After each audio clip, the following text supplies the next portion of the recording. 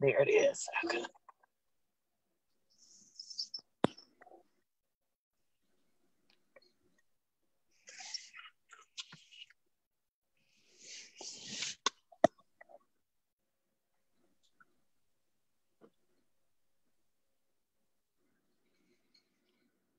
Hello, this is Tiffany with the Speak Up and Inspire series. And tonight we are going to be talking to Miss Deborah Denise of Block Love Charlotte and Miss Tera Long. Miss Tera Long ran for a, a, council seat. And so we are going to talk to her about some really um, important things that are going on in our community right now.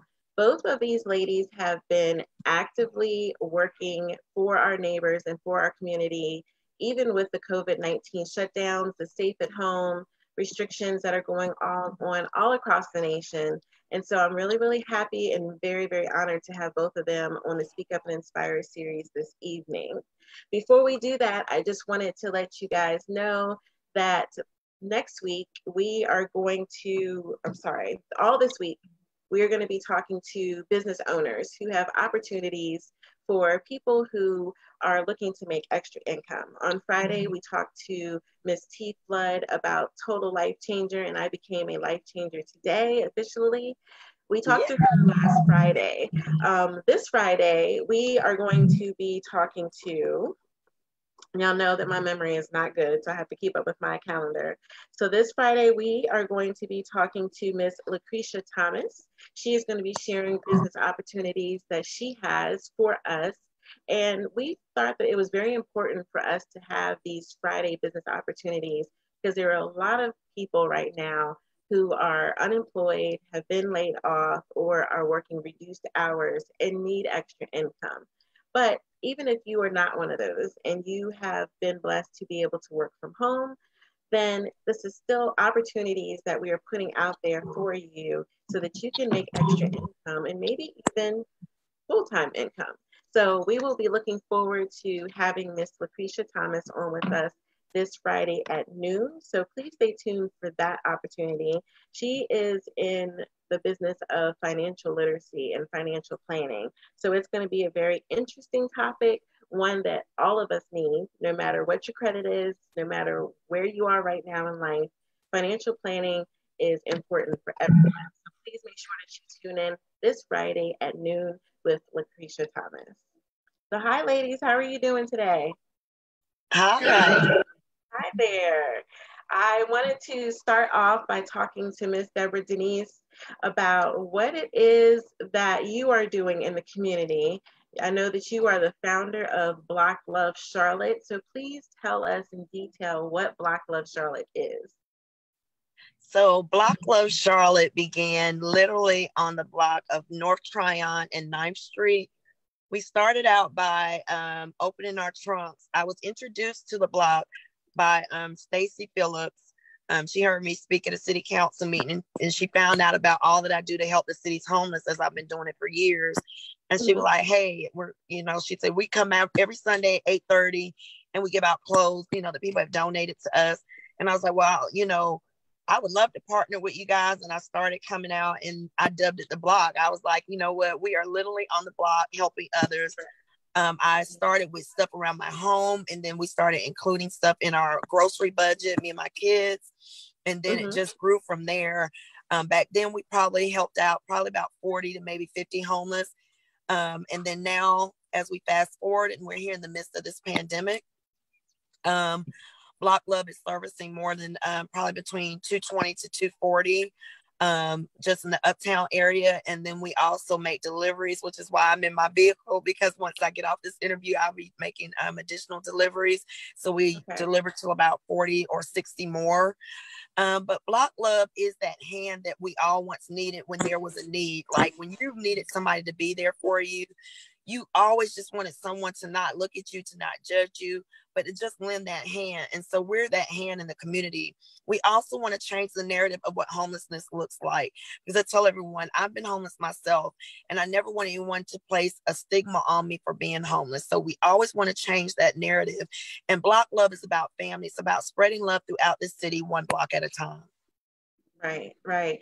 Yeah, I um I had a moment in my life, um, probably about five years ago where um, I was homeless and it was really hard. I had to have the, the twins would stay with some friends of mine and I just kind of went from friend to friend. A couple of nights I slept in my car. Um, it was just not it was not a good moment for me, but I was definitely able to reach out once I let my pride go and open up to talking about it, um, which didn't take long because living in your car is not safe for a female and for anybody, but definitely not a woman. Um, so once I did open up, I did get the help, but um, it, it would have been nice to know of more services then than I do now. Because not then I knew, but knowing the services that I know now, getting tongue tied, um, would have been so helpful, especially Block Love. So I know that you you go to the block. Tell us what your your day your day to day activity is for Block Love. So at Block Love, normally we would um our main day used to be Sundays. We would meet at the block at 8 30 a.m. We'd start with breakfast and then we would give out toiletries from there, we would um, then distribute a whole lot of donations. Um, and then on um, once the temperature got colder, we started doing Tuesdays. Now, Tuesdays are a little bit different because we call those Super Tuesdays because we service the Nevin community as mm. well as um, the North Lake area. Um, we do a little bit over off of Brookshire Boulevard. Now, okay. since the pandemic, we are feeding Monday through Friday um, mm-hmm. At 5:30, we set up. At six, we serve. On Saturday, we're doing meals three times a day. That's breakfast at nine, lunch at one o'clock, and dinner at six. And then Sundays, we do dinner at six. Um, so that's pretty much what our days consist of. Wow. So is this your full time job? Are you working another job? Because I can't. You got jokes, you girl. You got jokes. So I can see how you're doing another job. So is this your full time job? is this what you're doing? no, so I work full time in IT for a law firm from home. Um, yes. So seven okay. thirty to four thirty, that is my full time job. That's what pays the bills and keeps insurance. Um, but there's such a need in this city, and our focal point is not just the homeless. We also look out for the homeless. There are zero resources for single fathers that have found themselves homeless with children. And believe me, they are out there. Yeah. So we are trying to increase awareness to that because there's a great need here. And mm-hmm. being a domestic violence survivor, I'm also um, I advocate for these ladies that are out here on the street that are had to flee from domestic violence. And when resources aren't available, they may find themselves sleeping in their car, their van, or they may say, "Hey, I wasn't able to get into the the um, shelter for battered women because you know the, there is an increase, especially during this pandemic. So I do connect them to Safe Alliance and other resources as well. Um, and unfortunately, I've had to do a lot of that. Um, so yeah. I'm also a domestic violence advocate as well um, through a number of avenues. So yeah, I'm I'm I'm all over the place not not I'm no I'm not like a superhero and you know that that uh save the world syndrome. No it's just that's where I'm being used right now in this season you know, it's nothing wrong with being a superwoman. I think all of us have it in us. Um, with me working full time and then being a mom full time, I'm going to school. Um, I also, you know, I'm also running Butterfly Visions Project, and you you made a very true statement. Domestic violence is on the rise with people stuck in the house together, um, and domestic violence is definitely on a rise. So we're seeing, of course, more calls, um, and a lot of times we were providing emergency shelter through a grant. That grant ran out in two weeks. Um, so that is how much the need is there to provide emergency shelter for um, women or men who are leaving domestic violence relationships. But we've had to refer women now, and then when we're referring them, we're getting them further and further out because the Charlotte resources and Mecklenburg resources are so thin um, that it makes it impossible to place anyone really right now unless you get in on a prayer and get them in somewhere local. Um, it's been really hard to get women in shelters or even transitional houses because they're all full right now. Um, so that is definitely, definitely a need for more support. We need it. Um, it's it's been very trying. It's been very um, how can I say heart wrenching for me to have to say I'm sorry I don't have anywhere local. We don't have any more funds. I can't get you in a hotel because all the hotels are closed. So they're forced to either go back to their abuser or to go to family, which a lot have been so isolated from their families in these relationships that they really don't want to. And then where do they end up? They end up in their cars or somewhere where they don't want to go, which is really sad. So um, I know that you were saying that you're doing Monday through Friday in the evening, and then you have your weekend hours, and then you're doing deliveries. Are you delivering to families in need, or where are you delivering to when you're not on the block? Who who are you, who's that population that you're delivering to? Families in need. Um, right before all of this started, we had a couple of individuals that transitioned into housing mm-hmm. um, that were formerly homeless. But the problem is now that a lot of the resources aren't available, their cases are on hold. Mm-hmm. So, like, mm-hmm. I have one individual, like, she's in her place with zero furniture. She got a bed yesterday. She was so excited to show me her bed because yeah. um, she said somebody bought a new bed with their stimulus check and gave them her old one, their old one. So she was happy. But like right now, she's waiting for food stamps, so I'm delivering to her. Mm-hmm. Um, I've, I've delivered to a couple of patients, you know, where I have to ring they, they're cancer patients, so I've had to ring their mm-hmm. doorbell and just let them know the food is there on the doorstep for them. I mean, the need is so great out here, and we partner with other organizations. Mm-hmm. Um, but the need is just great. I, I read an article from um, Spectrum News and they were talking about how many homeless. It's over 3,600 homeless. And I'm like, yeah. we're barely scratching the surface. I mean, yeah. you know, you got to think about the ones in the hotels and motels. Those are the ones that one time Inc. with Charles Robinson are feeding. Mm-hmm. Um, I, I, Project Bolt, they've got their own um, that they're feeding. And then, you know, you look at us and we're feeding, and then we partnered today, an awesome partnership with Dilworth Soup Kitchen. And it's just like, but still look at the numbers and it's a lot of hard work. Yeah, it is. You also made a really good point that you're helping men who are homeless with children. Um, I know that there is a group that is new who are trying to feed the homeless, and they're they are focusing on men because we know that women we get a lot of resources because we're women with children, but the men they don't have as many resources and they don't have as many um, uh, services that they can call in that we we are pretty much pre-qualified for. They have to go through so many hoops for them to get the same services. So um, you might, I would love to connect you with them. It's Makisha and Daniel. They're a couple who just started um, their organization. They're trying to start an organization to help, men, especially who are homeless, who have families. So I definitely want to connect you with them if you're not already connected. Good. Good. Yes. So tell us how. What are your needs right now? Because I want to, yeah, I want to make sure that I'm, I'm, we're meeting with you probably probably every Monday evening, I'm going to ask you if you can kind of come in and let us know what your needs are. So tell us, what are your needs right now? So our biggest needs right now are um, we have washcloths. We can always use more washcloths. Okay. Um, and those go into the hygiene bags that we pass out on Sunday. So we always need washcloths. Okay. Um, another need we have right now is for um, it's, it's getting there. So we would like to go ahead and stock up in that sunscreen um, okay. and bug repellent. And bug repellent, um, because those mosquitoes are going to come as the rain comes, they're going to need that bug repellent. We put out um, ant and insect repellent, which will um, uh, help our around the tents, and then we also put okay. down um, this type of stuff that will keep the the rodents away. I'll just put it like right. that. Yeah. Um, yeah. But seriously, we we try our best. We raise the tents and put them on pallets um, as best as we could. Also, another great need is also blankets. Like any blankets that no one is using, we could really, really use the blankets. Um, we can use towels. Um, is a really great need. Um, okay. And I always tell people if there's something that you can't get to us, please donate to us financially on our website, which is blockloveclt.org. There is a mm-hmm. donate now button that's done through PayPal. And then also we do have Cash App. That is dollar sign Block Love CLT. There is a Block Love out there, so make sure it's dollar sign Block Love CLT, um, okay. and that goes straight to us.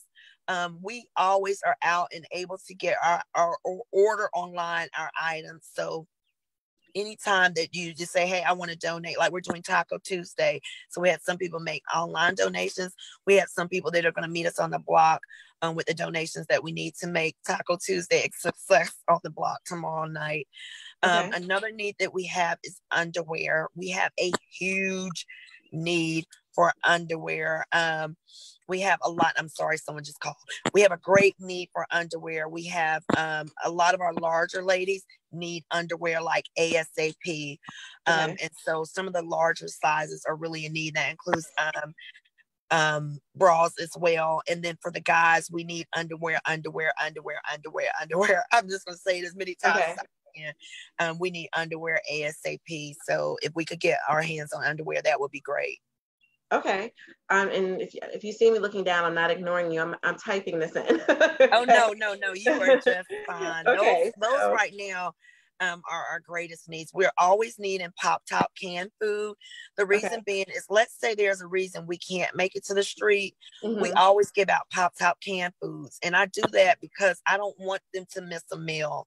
Um, right. Or you have some that work. And so for their lunch break, they'll have something that they can pop, whether it's Vienna sausage, Chef Boyardee, um, okay. potted meat, sardines. We try to always have those on hand as well. Okay. All right, so I have washcloths, towels, bug repellent, blankets, underwear, especially larger sizes, and the pop top canned foods. Yes. Okay, got it.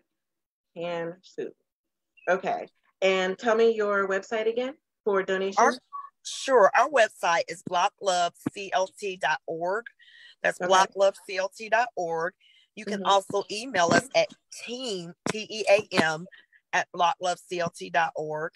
Um, and then, you know, there's a form you can fill out um, on the website if you have any questions, if you want to know how to volunteer, um, or if you know of any location where homeless are, please let us know of that block as we would dub it, and we will try to assist those. We've had a couple of people that have identified areas, and so that's why we increase um, those that we deliver to in the evening because we do deliver to camps.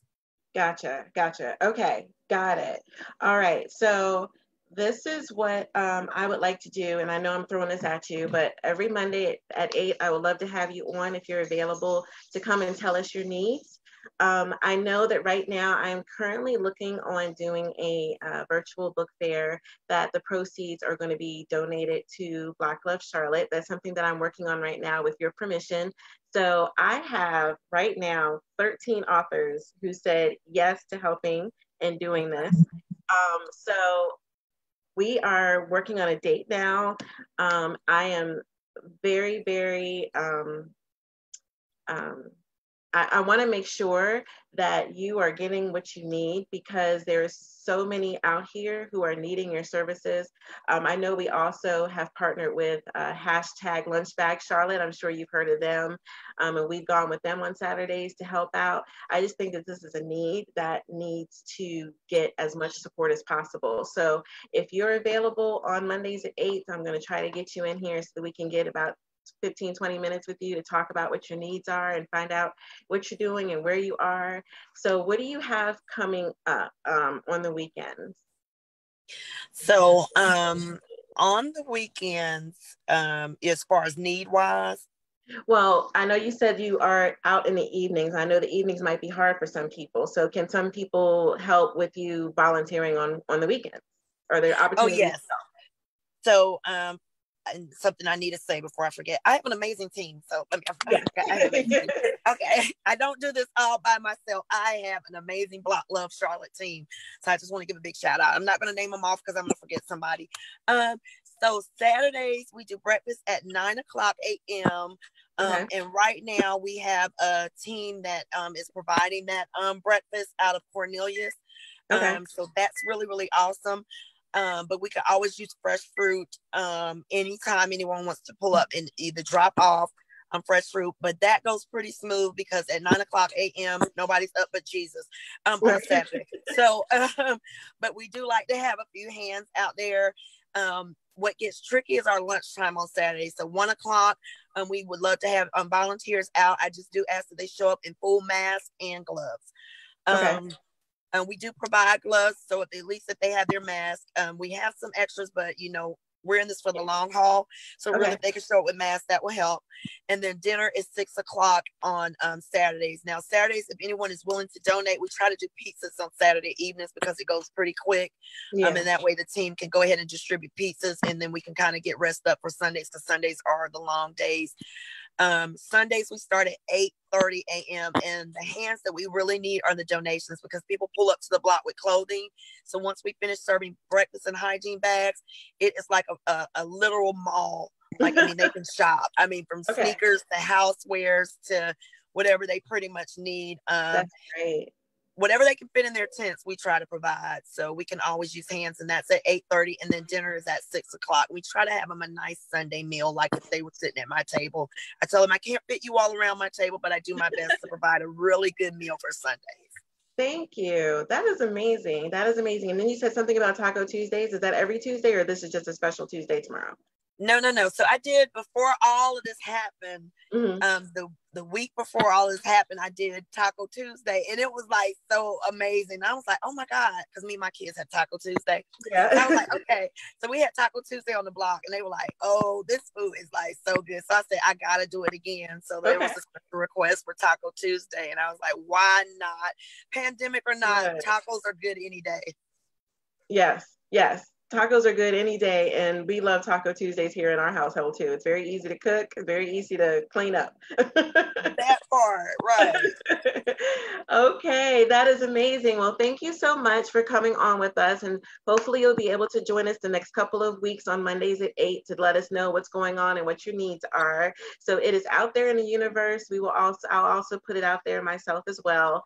Um, so we have your needs. Um, we are here to support you. Thank you for joining us. You're free to stay on if you want with with uh, Tera, um, but if not, then thank you for your time, and we appreciate you for all that you're doing, as well as your team, as well as your team. Thank you.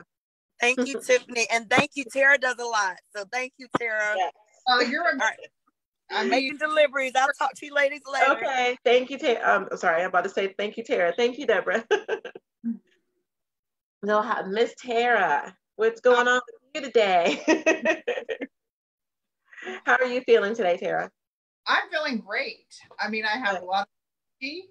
Um, as we were talking before we went on the air, um, you know, for me, it's a marathon cleaning spree around my house. I wish I could get to cleaning, but I don't get to cleaning. I think there's 20 some lights and fans that got washed in two days. Okay. Nice, nice. Okay, so Miss Tera, I know that you do a lot in the community. So I'm just going to let you share what you want to share. What is it that you would like to share with us tonight about what Miss Tera is doing in the community? Well, first, here's my daughter, and she's giving me Hi. Uh, a let's say hello. We're on TV. Hello. Hi, beautiful. And I have my little dog on my lap, so she snores, that's what's going on. I have one too. He's right here. Say hi. Dog.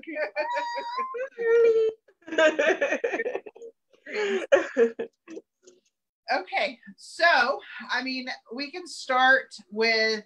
Um, so you mentioned that I ran for office. yes, ma'am. So let's start there. Um, a lot of people, there are some experts on the board of county commissioners, and people like advocates that know what the county commissioners do. But I can break that down so that people know what the I ran for the board of county commissioners at large, which Okay. is all Mecklenburg County. Um, Mhm. Mecklenburg County has about 1.2 million people, and that that covers the towns as well.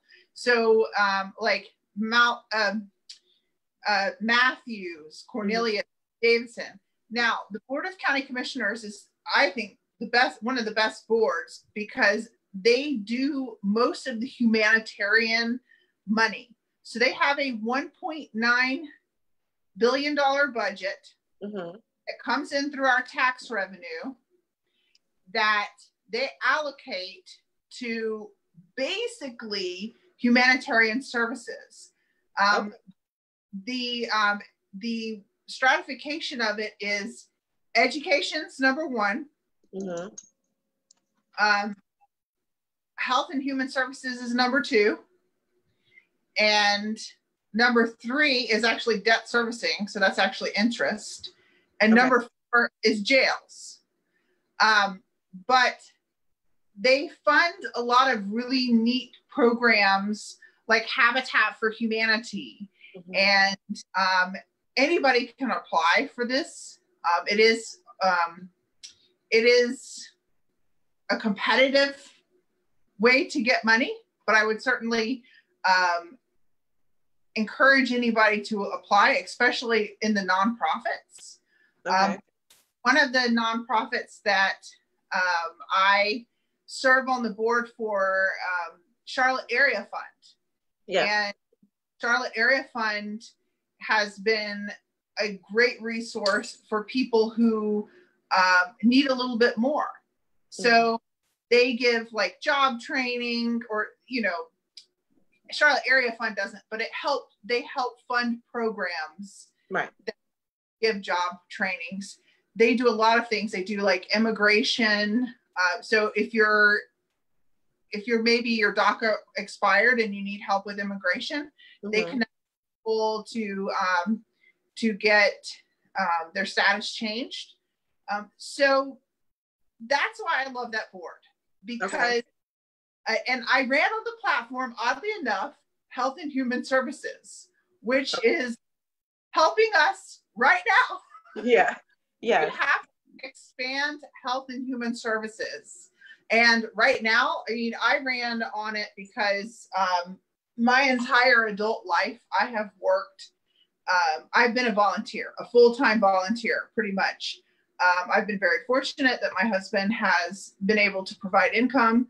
So I've never worked, I've just volunteered. I helped rear 29 kids in the foster care system. If you are familiar with the foster care system, you get $15 a day. So by the time um, you buy your kid a book at the bookstore, that's twelve dollars. yeah. Yeah. yeah. Choose a book from the bookstore or a a, a meal at um, Chick Fil A. Okay, Mhm. so the volunteer base at fifteen dollars a day. You're keeping them twenty four hours a day. Um, Right. Some went to school, some did, some didn't. Um, but it ended up being um, like sixty cents an hour that Yeah. these kids got. Mhm. So I really wanted to expand that program, Health and Human Services, the foster care, the health care. Um, um, I, two years ago, ended up getting sick and I didn't know what it was. And I went to an ER doctor, and the ER doctor um, said, Well, it could be nothing. You could be just fine. Um, or you here you might have a disease that could kill you in six months. And well, I'm not I provide you with the antibiotic because I don't think you're going to be okay. but you need to. yeah, I had a hard time processing that. But That would, um, that would be hard to process. so I left the ER and I got myself into the Cancer Institute. I do not have cancer, um, Okay. but um, I have an autoimmune disorder. It's Mhm. called IgG4 systematic, probable IgG4 systematic disorder, and um, it it it causes what I call pseudotumors. Okay, that's not the technical word for it. It looks like a tumor, it acts like a tumor, but it's not a tumor. And I can take um, immunosuppressants and they go away. Okay. Um, so, so it took me 10 doctors. Um, it took me through um, the healthcare system. So I got sick in November and then November like 2017. I Mhm. maxed out my $7,000 deductible. Mm. In January, it started over. So Hmm. by January 30th, I had maxed out another $7,000 deductible.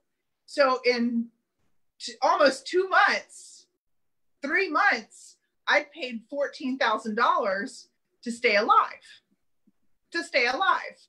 Um, I got Wow. to a point where I went to Duke Cancer Institute, and this was at the end of the um, at the the the deductible.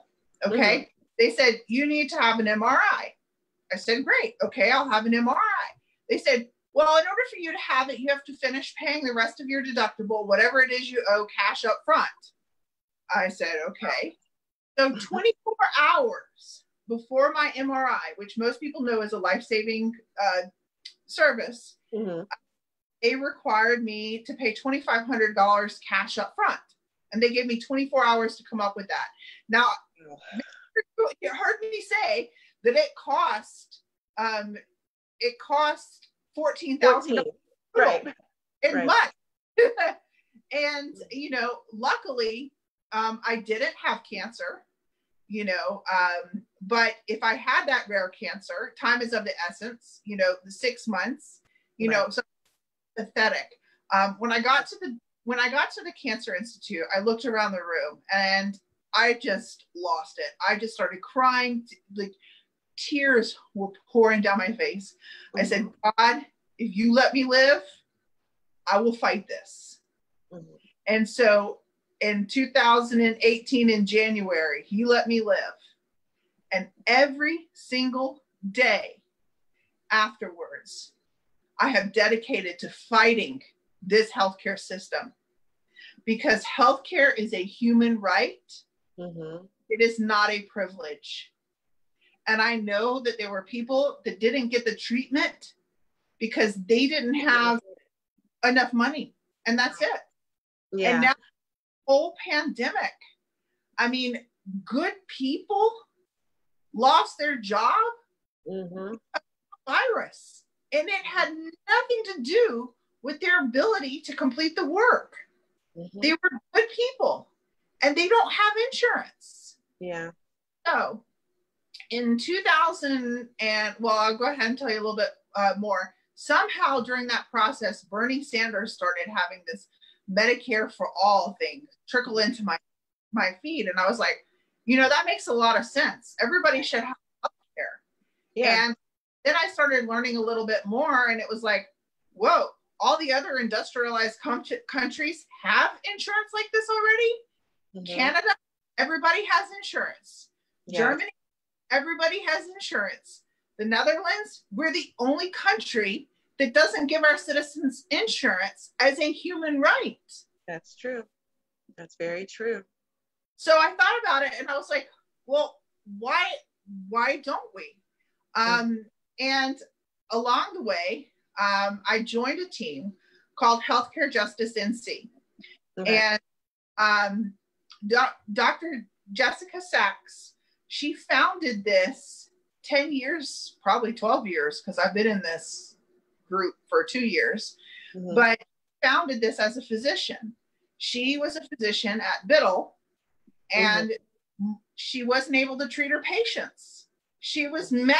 she said, These people aren't getting care because they can't afford it. And the problem is not that she can't give them care. The problem is that insurance companies are denying them or mm. making it so that they can't have the care because their main profit, their main motive is profit. They yeah. want profit. And if they yeah. don't trust the medicine, then they're profiting. Every time you go to the doctor, mm-hmm. insurance company is profiting. Yeah. So Medicare for all is a single payer system, meaning there are no insurance companies. It goes in and is paid out through the government. Um, we have, um, um, it, it's very similar to Medicaid. Mm-hmm. So it would just be everybody uses the same system. Um, when you start having um, the, the options, then what happens is the rich people go to the rich hospitals and the poor people go to the poor poor hospitals. And we want everybody to have access to the same hospitals, the same treatments. And you mm-hmm. do that single payer system. Um, okay. so, so, Healthcare Justice NC, and I'll tag at the bottom, I'll tag the website. It's okay. free to member. Um, basically, it is um, you just put in your email and you get the doctor's um, emails and and the events that we're going to do um, and it does state that you support Medicare for all. So it's like you'll sign a resolution. Okay. Um, but basically, what I have here, and I don't, let's see if I can show you. Okay, here's the graph.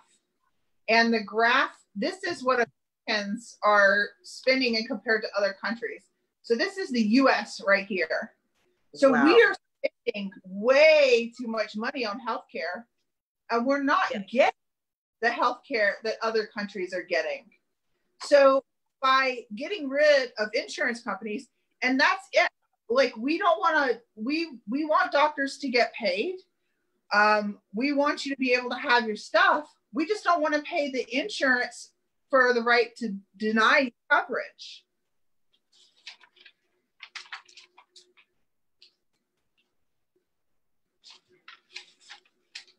Okay, one of the things is, if you can see, um, we only go to the doctor four times in our current system. Like the average American mm-hmm. goes to the doctor four times. In Japan, they go 12 times.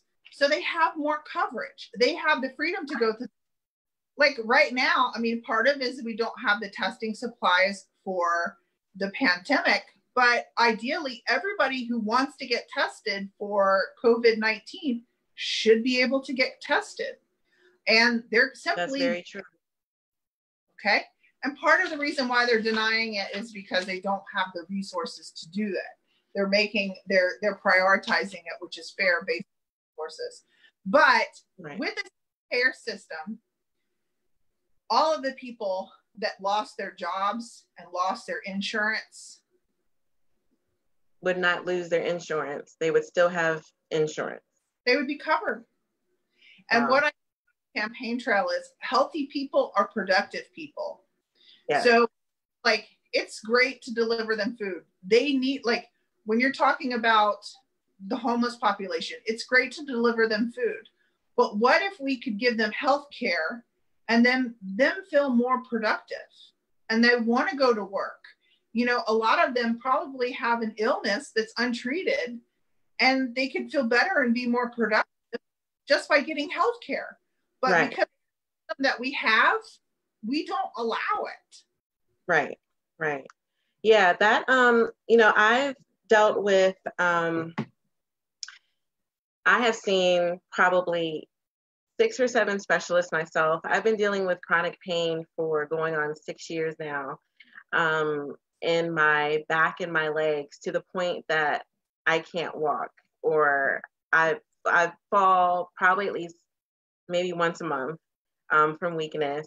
Um, the pain is at a 20 and I've been going to doctors. They tested me for lupus, they tested me for MS, they tested me for sarcoidosis, they tested me for all these things and they still cannot they tell me it's a bulging disc sitting on top of a nerve but there's more to it. I get dizzy sometimes. I have weakness. I have this i have that that is beyond just a, a bulging disc.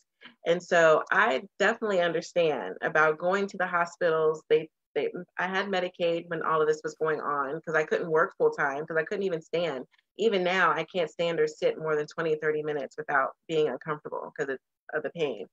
Um, so I, it would, I was not able to go to physical therapy, which is what every doctor told me because yeah. Medicaid wouldn't approve it.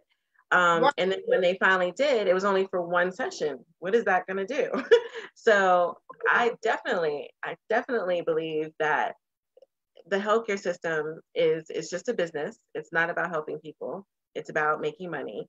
Um, and now with all of this, people have lost their jobs. They're getting laid off, and they're being offered this insurance with like Cobra that is too expensive.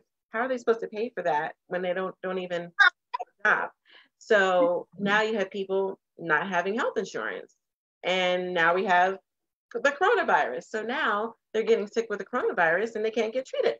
So, I mean, it's just a rippling effect in this right here. Having healthcare for all would solve a lot of these problems, and probably we probably wouldn't be in the situation that we're in right now if people had the healthcare insurance to be able to go and take care of themselves before this happens. Because now those people are more susceptible to getting the coronavirus because of their immune systems and so forth. Absolutely. No, you were absolutely spot on. You were absolutely spot on. You know, um, the healthier the the healthier the person. That catches coronavirus, the better survival. Mm-hmm. Yep. So people that haven't been getting a lot of care or not been taking care of themselves that are at high risk. Yep. Um, yep. And, and so you were spot on, spot on for that. Healthcare should be a human right. Everybody should have it. You should not worry about losing your house or, mm. um, you know, they can't actually take away your house, but you know, some people like for me, we talked about, well, should we refinance the house to pay all these bills? Right. You know, who has fourteen thousand dollars cash just to pay? You know, something. Oh, what American has that? We don't. Right. Not the you everyday know? American like you and I. yeah. yeah. So, so I became a healthcare advocate, um, and in the absence of a Medicare for all system, expanding health and human services at the county level is mm-hmm. the best we can expand it. Um, last year, I spent a, um, a, year as legislative advocate for Medicare for all through healthcare justice. Um, I stepped down from that position to run for office. Mm-hmm. Um, but basically, my goal was to talk to all of the legislatures about hey, we need this program. We need this right. program and we really need this program now in the middle right. of the yeah we really do. Um, so if this is something uh, for the, the viewers online if this is something that sounds interesting to you please tell them that we need it. This is a legislative act an action meaning it is not current in our society. We need to bring it there. Right. Now how how does someone do that? How does someone say we need this i mean well, who do we say who so, do we say that to yeah. So, um, you know, the first action that I would do is I would sign the resolution for healthcare justice NC and connect with the physicians. So the physicians, again, they were mad at not being able to treat their patients and started this group. Um, right. Our for 3,000 members. It's free to join, and that just keeps you in the information loop. Um, okay. The legislative initiatives, people that can bring us Medicare for all are people that are currently serving like Alma Adams, who does support um, healthcare as a human right. Um, Thom Tillis, who is currently running an ad on TV against Medicare for all because he doesn't that healthcare is a human right. right. Um, and um, so, talking to the congressman, Cal Cunningham is running against Tillis. So, if he gets elected, then then he will be the person in charge. Um, so making those connections, writing them, calling them. Um, also, another thing that we do is like, of course, I'm going to ask if you would, if you want a physician to come speak on your show, mm-hmm. I can a physician and let them come speak. The physicians, the group as a whole, we mm-hmm. can go. You know, obviously, with COVID, we're not having events anymore. right like group conversations and eventually covid will go away and we'll be able to have group events and we'll speak. Right. and they can come in and educate um, church groups. So anytime you need a guest speaker we can send a physician.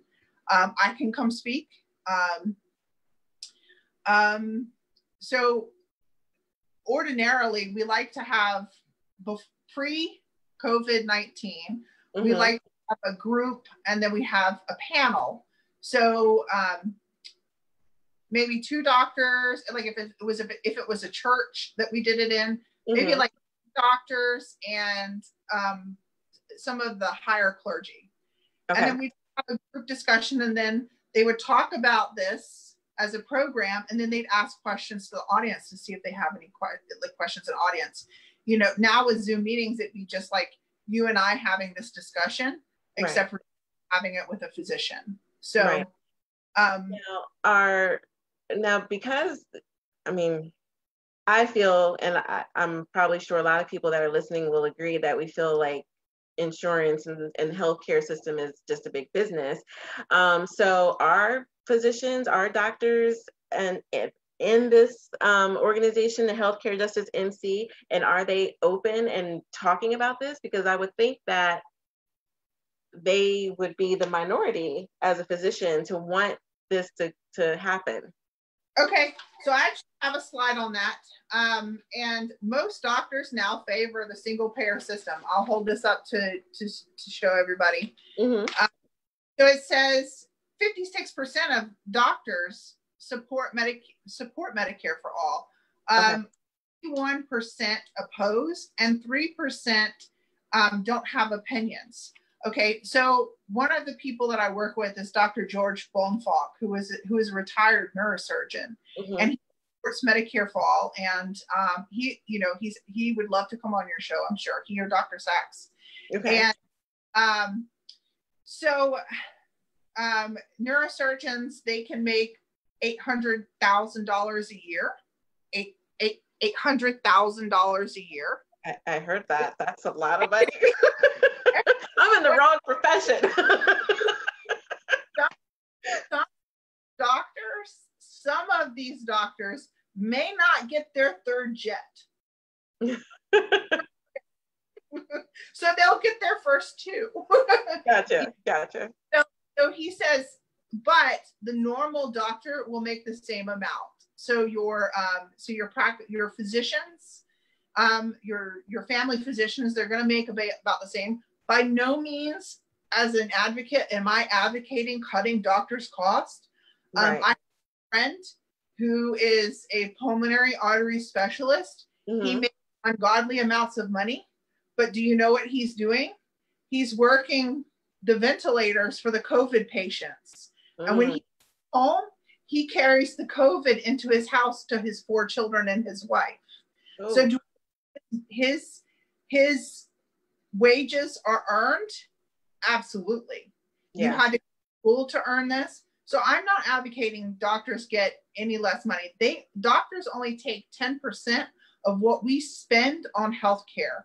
It's the insurance companies that take all of this money. We can save 500 billion dollars mm. and give everybody insurance by getting rid of insurance companies. And that that you know, the whole, you can go anywhere because there wouldn't be restrictions on where you go. Right. So, right. like, sometimes I'd have to drive all the way to South Charlotte when I live on like Northwest Charlotte mm-hmm. just to care because that's where my insurance approved right. it. Yeah. Uh, all of that would be gone. That the waiting time where people have to sit on the phone and ask for approval, that would be gone. It's right. up to doctor's discretion. Does this patient need this procedure? If so, give her the procedure. Right. You know that. Mm. Um, in your case, you know what I feel. In your case, is um, you need to see lots of doctors. I do. you, uh, yeah. You need to find somebody who knows what you have because you know something's wrong. Mm-hmm.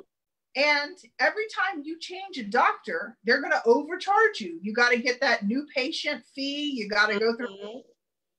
Well, in a, in a single payer system, you can see as many doctors as you want um, to get the diagnosis that you need. Right. So I went through 10 doctors in mm. my and finally got a rheumatologist. Mm-hmm. Okay. And that too. he knows what he's doing. Mm-hmm. 10 doctors to get there. Yeah. So you keep going in our in our current healthcare system, you you have to keep going and you have to keep spending the money to get the answers that you need. Um, in my particular story, I was pretty much I was really sick.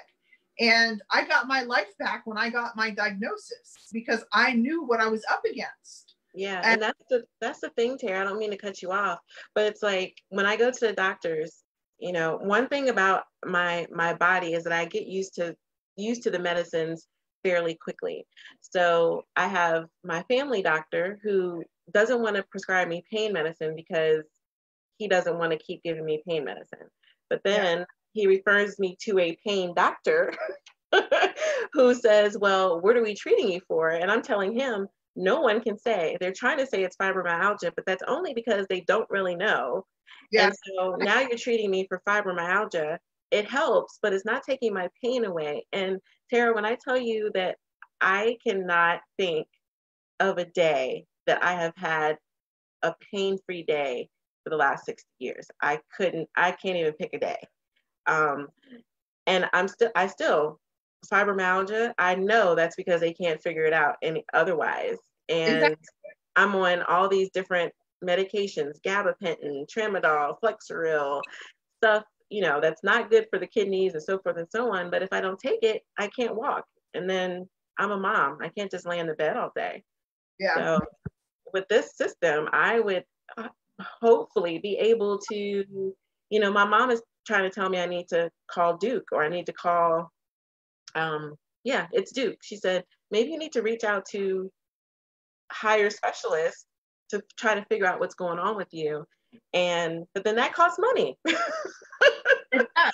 yeah, days off from work, traveling, it's, it's, it's a, it's a mess. And this is not the way God intended us to live. And I, I just know it's just not the way we're supposed to live. Not at all. Well, if it makes you feel better, it took me 12 years to find my diagnosis. I, I can't imagine. From the beginning of the symptoms. So you really do have to push through. Um, yeah. and, and my current advice is to, once you start and maxed out your deductible, mm-hmm. uh, go to as many doctors as you can once you've maxed it out. Mm-hmm. So get the bulk of your work done when you know that they can't charge you more. Right. Now, so they right. will only book you for a surgery January 1st just to get that deductible. right.